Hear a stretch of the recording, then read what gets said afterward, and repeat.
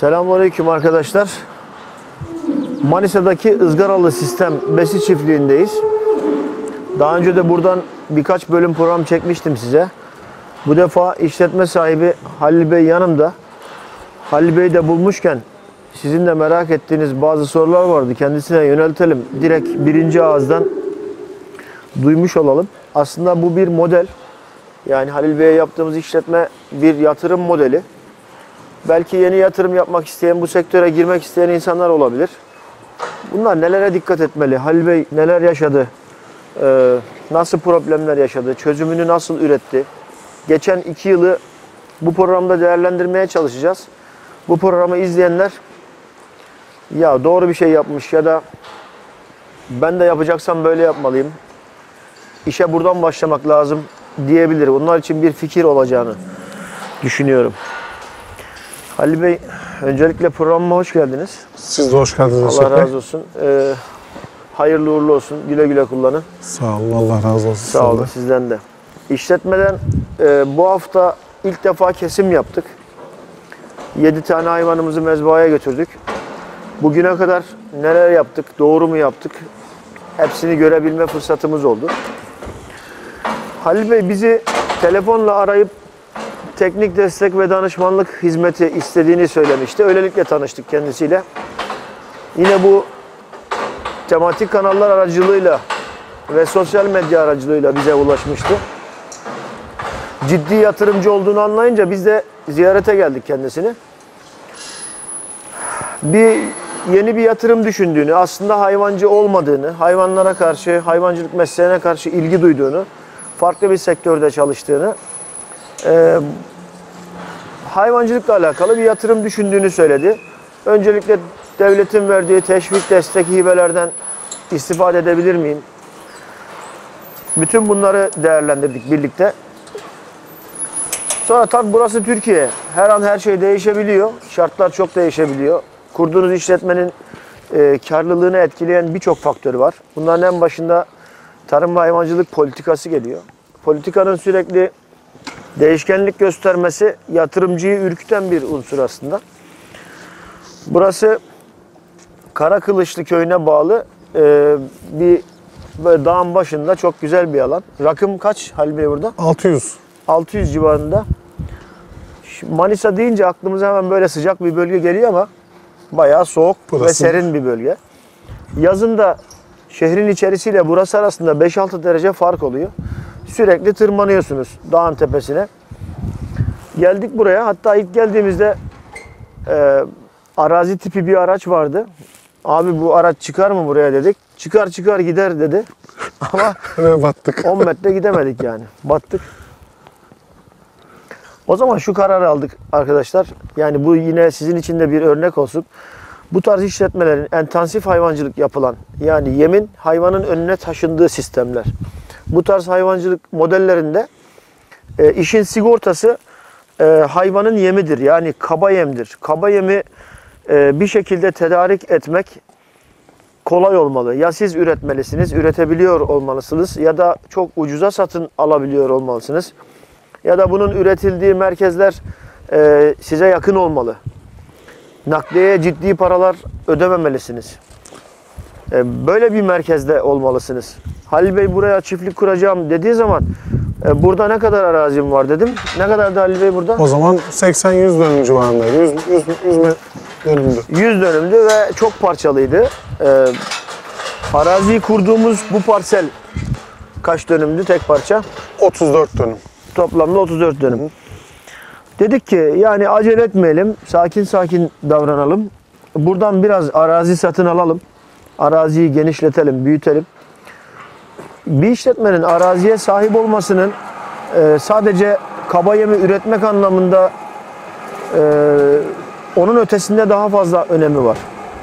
Bu işletmeden ciddi anlamda gübre çıkıyor. Bu gübreyi bertaraf edeceğiniz bir araziniz yoksa, attığınızda katma değeri yükseltecek bir yeriniz yoksa size ikinci bir problem olarak yansıyabilir. Halil Bey o yıl e, yatırımı yapmadı, bekletti. Yatırımı bekletti, yapma dedik. Bu yıl yapma. E, bu bölgeden alabildiğin kadar arazi al. Tabii parasal imkanlar ne ölçüde el veriyorsa o kadar arazi satın al. Ondan sonra bu işe başla. Bu işi daha garantili yapmış olursun. İşletmenin sigortası olur dedik. Geçen zaman içerisinde Halil Bey e, kaç dönüm oldu abi burada aldığımız arazi toplamda? Şu anda 250 dönüm civarındayız. 250 Artı dönüm. Kendi arazilerimiz, Manisa merkezdeki arazilerimizle beraber yaklaşık 350 dönüm arazi işliyoruz. Şu an 350 dönüm arazide yem bitkisi üretimi yapıyor. Hiç hayvanı yokken, hiç çiftliği yokken önce yonca üretmeyi, hatta alttan sulama, tabandan sulama sistemlerini de devreye soktuk. Ee, hiç hayvanı yokken yoncası vardı. Onu söyleyeyim size. Yonca üretmeyi, balyalamayı, hasat yapmayı hayvanı yokken biliyordu Halil Bey. Birinci yılın sonunda yeterli arazi büyüklüğüne ulaştığını düşündüğümüzde projeyi hazırladık. Arazinin projeyi e, yerleşimi ayarladık. Binaların nasıl konuşlandırılacağını, hakim rüzgar yönünü, güneş alma açısını, araziye ulaşabilecek yolu, içme suyunu, işte derin kuyu açıldı, temiz su kaynağına, e, kaynağı tespit edildi. Sonra binayı yaptık, sonra içini yaptık. Bizim için en kolay olanı çiftliği yapmaktı. Çiftliği yapmak çok kısa sürdü. Sonra kaba yemini satın aldık, hasat yaptık. Sonra yavaş yavaş hayvanları toparlamaya başladık. Sonra besledik. Üzerinden 9 ay geçti. Ee, Mart ayı mıydı? Mart'ın 3'üydü değil mi ilk hayvan? Yok 6 Mart ilk 6 hayvanı Mart. indirdiğimiz tarih. 6 Mart tarihinde ilk hayvanları indirdik. Bu haftada ilk kesimi yaptık. Yavaş yavaş diğer hayvanlar da kesime geliyor. Bölgedeki ari çiftliklerden ve e, profesyonel çiftliklerden topladığımız aşı programlarının doğru yapıldığından emin olduğumuz hayvanları da işletmeye toparladık. Her ay rutin kontroller yaptık. Tartımlar yaptık. Düşük kilogramda gelen hayvanları takip ettik, yakın takip ettik. Neden düşük kilo alıyorlar? Ee, mesela 500 tane hayvanı tartıyorsunuz, 20 tanesi 20 kilo, 25 kilo seviyelerinde kilo almış. E, biz 60 kilo alan hayvana odaklanmıyoruz. Daha az kilo alan hayvana odaklanıyoruz. Neden böyle bir şey oldu? E, geçen süre içerisinde yani 2 yıl geçmiş oldu. İşe başladığımız günden bugüne 2 yıl geçmiş oldu. Çiftliğin kurulduğu günden bugüne e, hayvanın konulduğundan bugüne 10 ay geçmiş oldu. E, inşaatın başladığından bugüne de bir buçuk yıl gibi bir süre geçmiş oldu. Manisa çok sert kış e, şartlarına sahip değil. Bize bu anlamda inşaat yapmak için yeterli süreyi vermiş oldu. Sorun yaşamadan inşaatı bitirdik. Şimdi Halil Bey'e şunu soracağım. Yani yeni yatırımcılar, bu işe yeni başlamak isteyen, yeni yapmak isteyen insanlar nelere dikkat etmesi lazım? Arazi seçimi ne kadar önemli? Ee, böyle yol kenarlarındaki dümdüz tarlalara bitkisel üretim faaliyetinin çok rahatlıkla yapılabileceği arazilere hayvan çiftliği kurmanın doğru olmadığını düşünüyorum. Elimizde sınırlı bir toprak parçası var. Bunu en iyi şekilde, en verimli şekilde kullanmak zorundayız. Başka hiçbir şey için değerlendirilmeyecek bölgelerin, taşlık, kayalık bölgelerin bina yapılması taraftarıyım. Bu binayı koyduğumuz yerlerde de herhalde kepçeyle, dozerle çalıştık. Dev gibi kayalar vardı. Onları düzelterek bu e, inşaat sahasını açtık. Bu anlamda da bu ülkenin e, toprak yapısını, ekilebilir arazi varlığını küçültmediğimizi, verimli kullandığımızı düşünüyorum.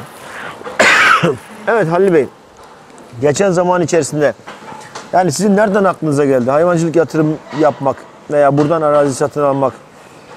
Başka bir iş dalında faaliyet gösteriyorsunuz. İyi ki girdim diyor musunuz? Sektörün henüz oturmamış noktaları var mı? Hoşunuza gitmeyen yerler neler oldu?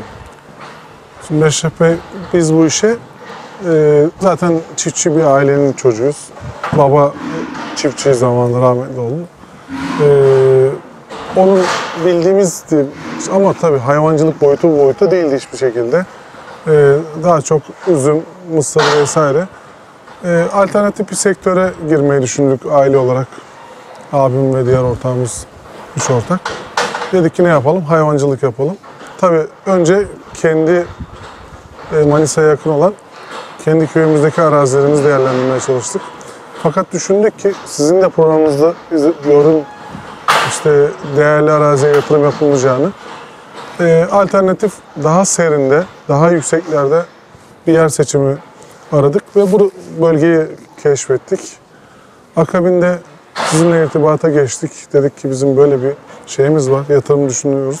Sizler geldiniz. Yani buranın merkeziyle 5 ile 6 derece e, Fark var. fark var. Bu da hayvana yarayacağını, hayvanın soğuktan korkmayıp sıcaktan kilo almayacağını sizin programınızda da öğrenmiştim. Akabinde burayı seçtik ve buradan arazi almaya başladık. Daha sonrasında işte bu sizin projelendirdiğiniz şekilde burayı hayata geçirdik. Peki e, şu anki düşüncenizle arazi sahibi olmanın ne kadarlık bir artısı var bu hayvancılık faaliyetine?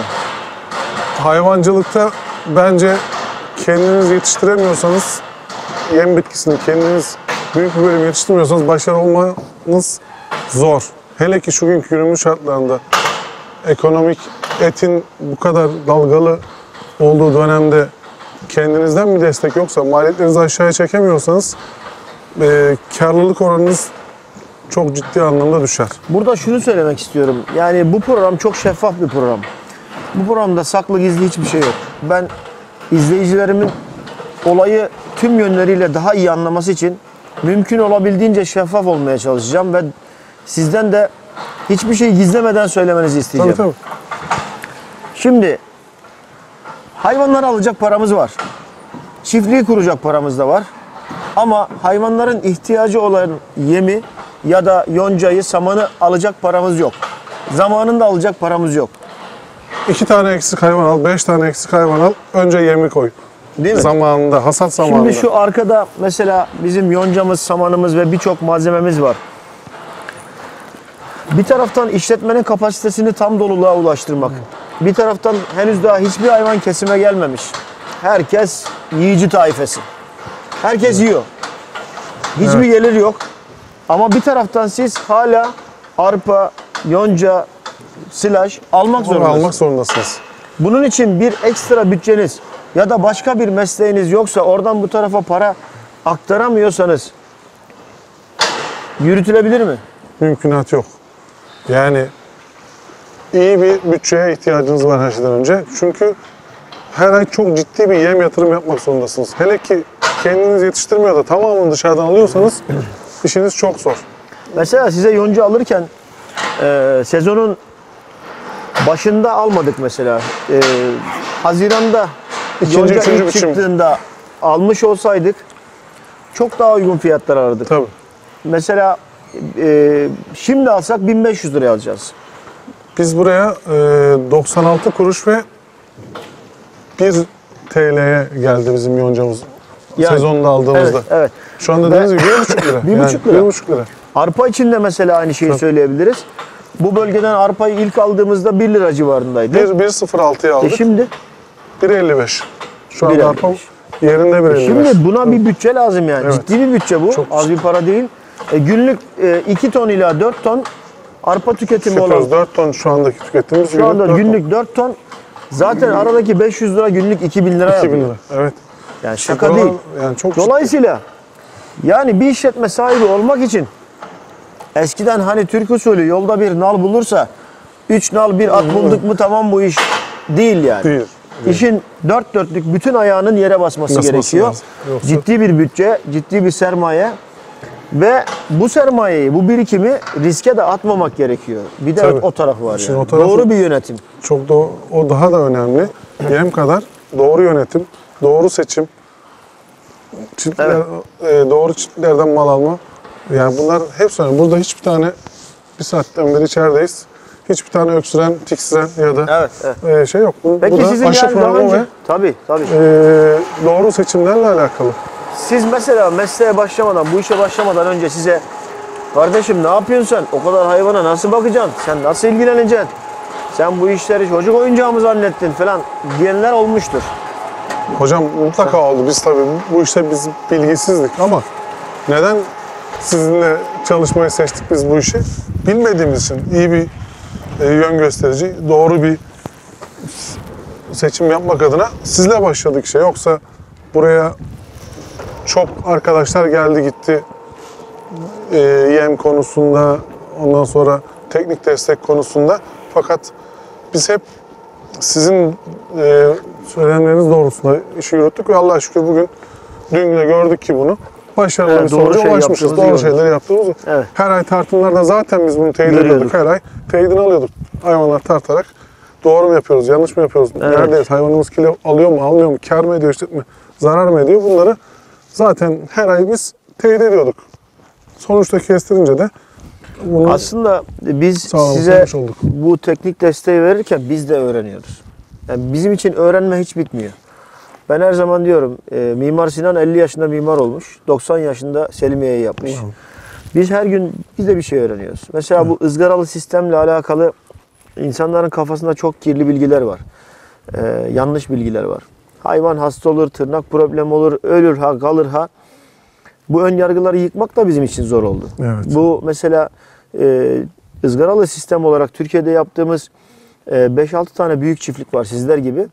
Bu büyük çiftlikleri yaparken sahipleriyle ve etrafında ona bilgi verdiğini, onun iyiliği için ona bir şeyler söylediğini düşünen insanların yanlış yönlendirmelerini kırmak, önce onlara doğruyu anlatmak, sonra onları ikna etmek hakikaten işimiz çok Zor. zordu yani. Evet. Sektör zor bir sektör. Sektör çok zor. Herkes biliyor. Yani bu konuda fikri olmayan birine rastlamadım. Çok da acımasız Herkesin bir eleştiriliyor. Ha, Acımasız bir eleştiri de var. Ama e, sonuç sonuç ortada işte. Evet. Doğru şeyler yapıldığı zaman sonuca ulaşmak mümkün. Bugün olmuş hala hatalı yaptığımız, yanlış yaptığımız, şunu bir dahaki sefere yapmayalım dediğimiz birçok şey var. Evet. Uygulama aşamasında. Bugün mesela e, bir önceki programda belki izleyicilerim görmüştür. Her ay rutin olarak buraya geliyoruz. Sizler de büyük bir özveriyle bizim söylediklerimizi yapıyorsunuz ama yine de işletme körlüğü kaynaklı problemler var.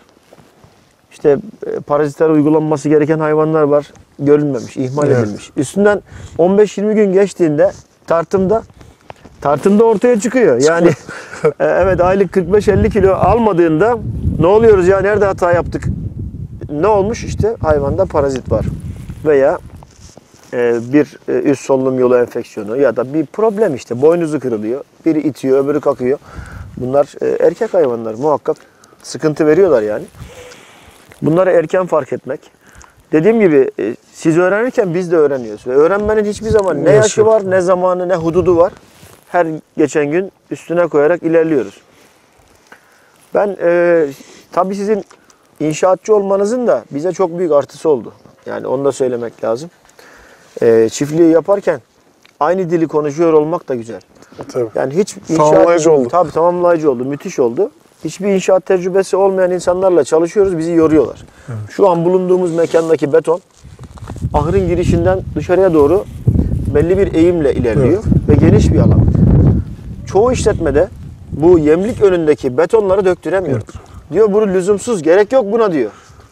Halbuki işletmeye bütün pisliği buradan taşıyorsun. Evet yani, Yani işletmenin önünde en az bir 15 metre beton alan olmazsa her iki tarafta büyük sıkıntı. evet. Tüm pislik e, içeriye giriyor. Sadece ön tarafta kalmıyor. Yem yolu Evet, evet. batıyor. Evet. Dün bir şey, bir şey daha dikkatimi çekti. Yani mezbahada yaşadık hatırlarsanız. Biz burada hayvanları kaç dakikada yükledik, kaç dakikada tarttık. Orada Orada ne kadar sıkıntı oldu. orada çok büyük sıkıntı oldu. Tabii yani yılların mezbası ve her gün onlarca hayvan giren bir yerde Evet. sistemlerin öyle olmaması lazım. Daha ilerlememiz lazım hayvancılık olarak. Ee, şimdi birçok izleyiciniz der ki ya herkes de aynı param var. Hayır orası bir e, iyi bir yapı. Yani güçle de alakası yok. Mutlaka planlama ve Teknikle doğru alakası var. teknik Şimdi ve orada aşı yolu yapmışlar. Evet. Aşı yolu 120 santim. Bir, bir buçuk metre. Hayvan geri döndü geldi. yani- İkisi bir yan yana geldi.